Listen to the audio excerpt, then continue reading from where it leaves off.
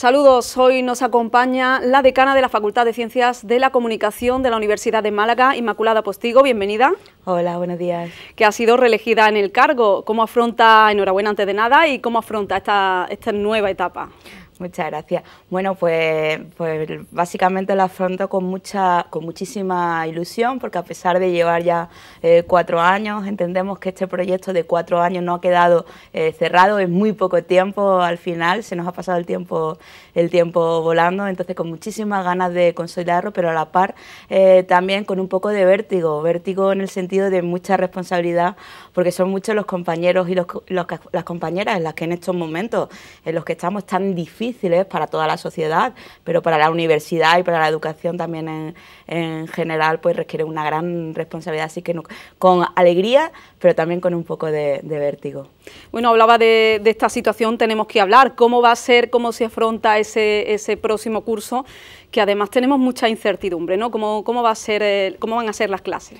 Bien, pues lo, que, lo primero que nosotros vamos a intentar transmitir en todos los sentidos es tranquilidad, porque hay muchísimas cosas que no dependen aún de nosotros. Estamos viendo que, por ejemplo, ahora mismo en Lleida, pues se habla de otra vez una vuelta, un confinamiento general. Aquí a partir de mañana pues tenemos que utilizar nuevamente las mascarillas. Entonces pues vamos un poco, eh, no improvisando, sino adaptándonos a las circunstancias planteando unos condicionamientos que eh, precisamente eh, tengan en cuenta esa posibilidad de cambio a las circunstancias para que no podamos cambiar, para que no tengamos que cambiar de un día para otro. Y en esa línea, pues bueno, se ha establecido en la propia universidad, pero en la facultad en concreto, eh, dos posibilidades de escenarios posibles. Uno que podrían ser si las cosas funcionan como en el, mismo momento en el que estamos ahora, es decir, lo que se limita es el número de aforos en los cuales los estudiantes y las estudiantes pues estarán en la docencia será presencial, pero habrá un grupo de estudiantes que como no caben en esas aulas,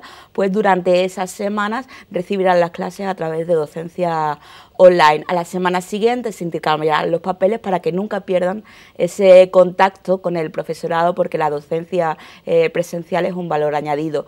Pero a la par de todo esto también tenemos un plan, podríamos decir B, porque no sabemos si en circunstancias excepcionales pues nos, vamos, nos volvamos a tener que volver a, confinar y en esa línea también tenemos planteado por si nos tuviéramos que ir nuevamente todos a casa durante un periodo de tiempo que la docencia no se fuera, no se fuera afectada. Prada.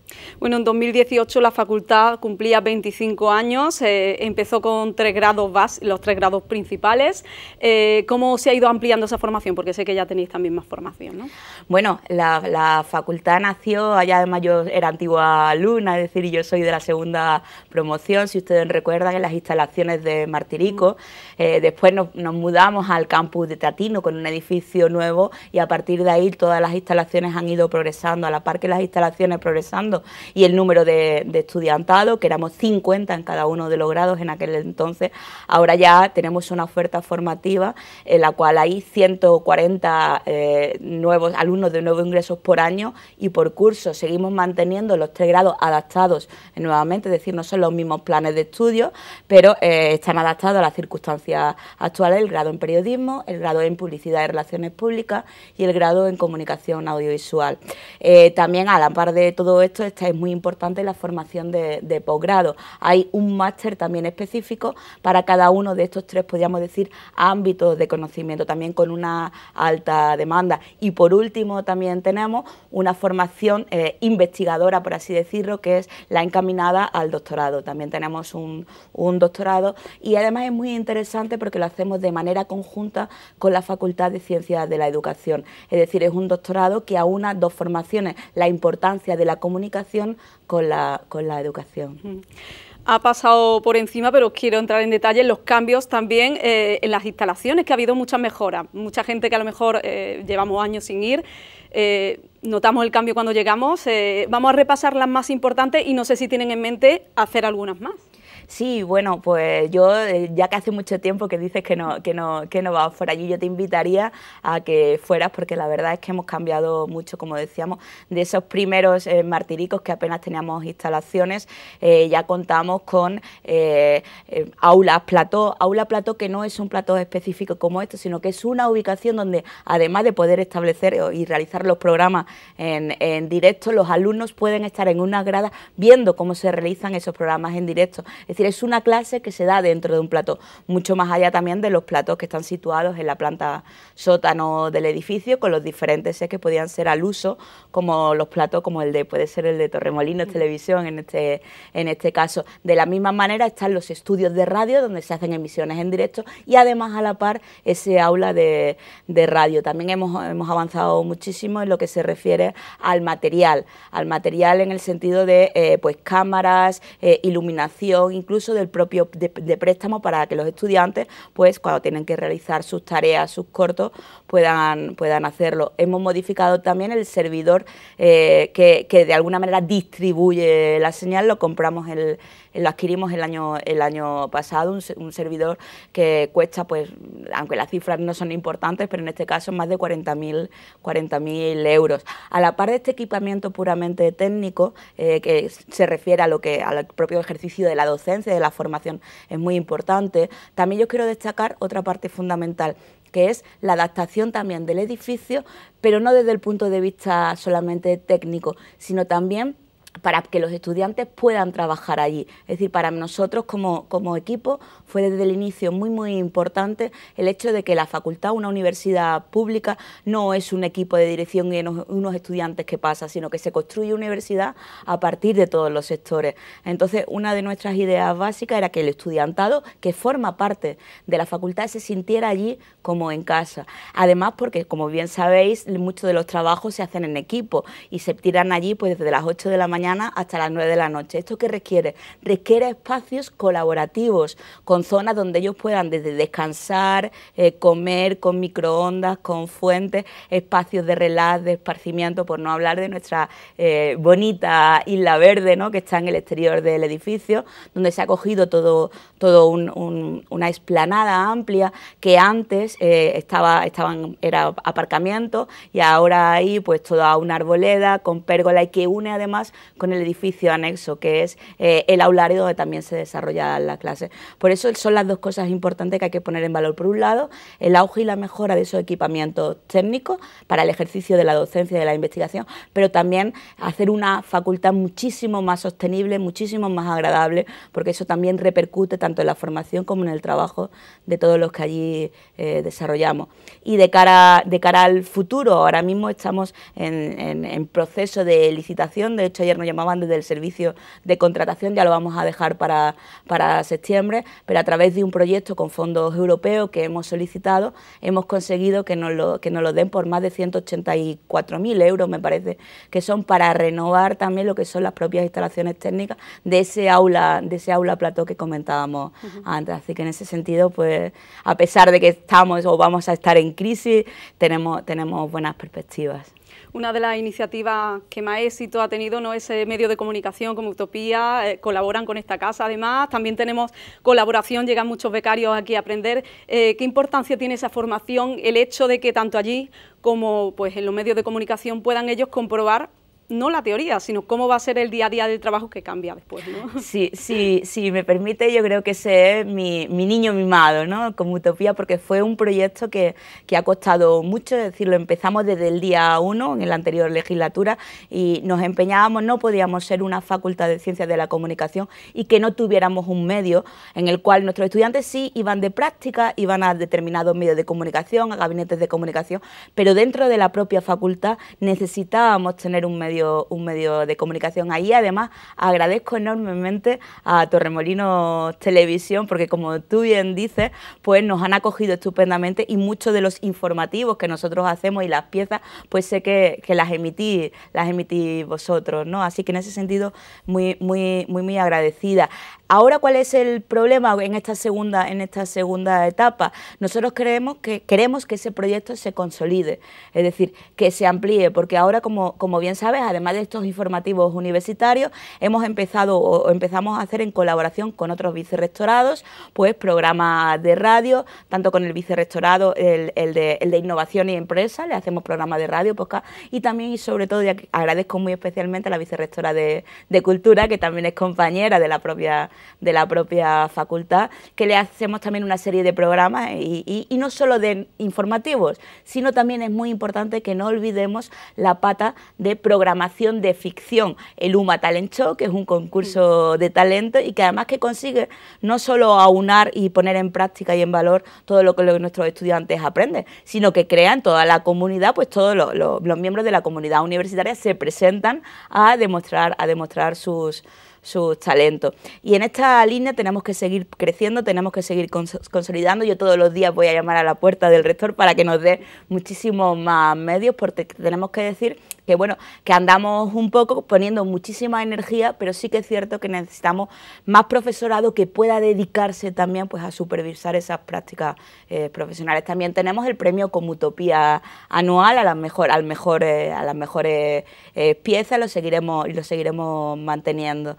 agradezco enormemente pues la tarea de los profesores y las profesoras que dedican su tiempo mucho más allá del que le corresponde, es decir, toda esa formación que ellos dan al propio estudiantado, ese seguimiento va eh, de, manera, de manera paralela a eh, sus obligaciones eh, por sus contratos que tienen en la Universidad de Málaga. Es decir, podríamos decir, lo hacen gratis et amore, ¿no?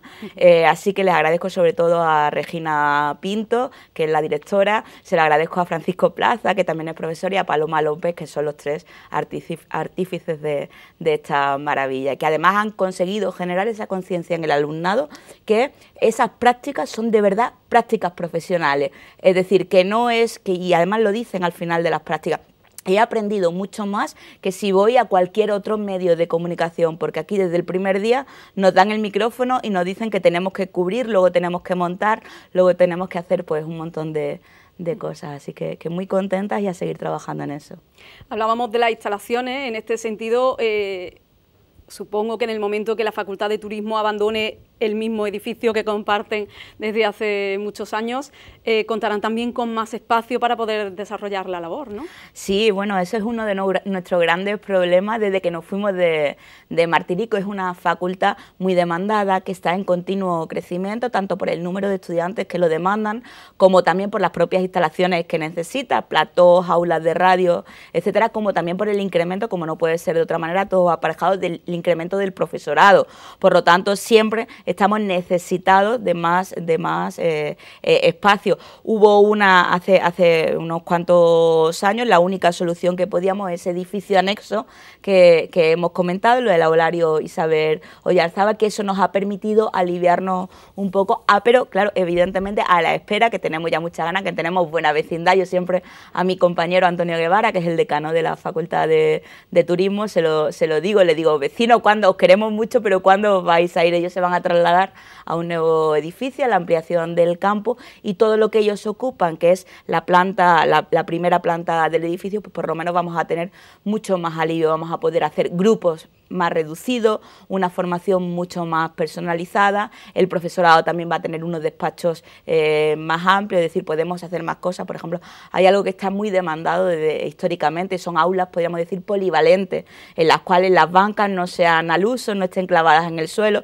sino que precisamente por la propia naturaleza de nuestros estudios, además tenemos un máster, un máster de artes escénicas, requieren espacios con mobiliario cambiante para que esa docencia, tanto de danza eh, como de pues eh, eh, todo lo que tiene que ver con grabaciones, con eh, cortos, etcétera, requiere un espacio polivalente en el que se puedan mover las bancas. Entonces, pues ahora mismo no podemos, no podemos tenerlo, pero en el momento que nuestros, nuestros buenos vecinos de turismo vayan a su edificio nuevo, pues será utilizado para todo ello. Quiero preguntar también por si ha cambiado, hablábamos de eso más de 25 años, ¿ha cambiado mucho la tipología del alumno? Eh, ¿Cómo son los alumnos de hoy día? ¿Qué intereses tienen? ¿Se muestran participativos? Eh, no sé si ha cambiado mucho, si sigue habiendo más mujeres estudiantes que no. Sí, somos más mujeres estudiantes que, más mujeres que, que, hombres, además tenemos mejores notas, hay que decirlo. Y también somos más profesoras que profesores. Lo que sí que es cierto es como siempre el techo, el techo de cristal, a pesar de ser nosotras mayoritariamente siempre a los puestos directivos o a los puestos más, más altos, eh, por las circunstancias que todos conocemos, que no me voy a extender en ello, pues son ellos los que los, que los ocupan. En, relación al alumnado, bueno, yo que además que lo he vivido, como, como comentaba antes, eh, como alumna y luego como, como profesora durante estos 25, ya 27, han pasado ya dos años desde desde el 25 aniversario, hemos cambiado en el sentido de que aquella facultad que nació éramos, mm, éramos las primeras promociones, éramos muy poquitos estudiantes, estábamos en un entorno fuera del campus, es decir, eh, básicamente aquello, tanto los profesores eran muy jóvenes, era una relación, podríamos decir, de familia muy personalizada, todos nos conocíamos mucho más allá de, lo que es la, la propia estancia en las aulas. Cuando nos cambiamos a teatino, eso cambió evidentemente, porque el incremento de número de estudiantes era mayor y ya empieza a abrir, a abrir, a, haber muchísimas más eh, personas que van allí, eh, ejercen sus estudios, pero luego tienen otra vida fuera.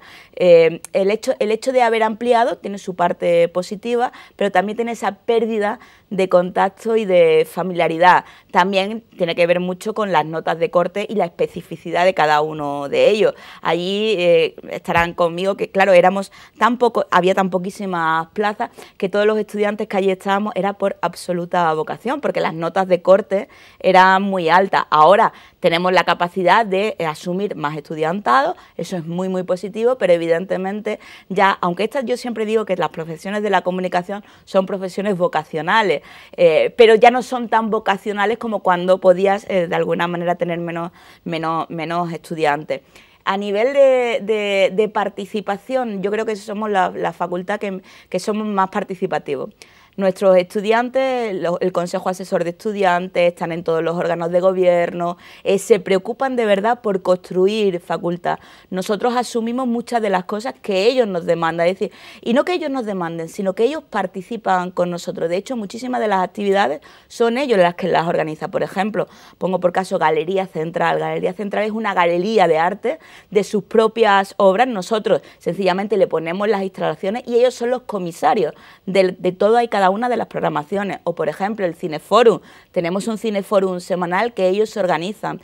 Eh, un montón de, eventos en los cuales traemos a profesionales de fuera, pero no solo los que el profesorado, o en este caso el equipo de canal, eh, quiere, sino también a petición de ellos mismos y con contacto de, de ellos mismos. Es decir, nuestra idea, un poco hilo con la parte que decíamos antes de los espacios, es que ellos son más que nadie los que construyen la facultad y por lo tanto son, son muy participativos en línea general. Hay de todo, evidentemente, hay algunos que pasan más, más de largo, pero en general muy contentas y sobre todo muy orgullosas de ellos.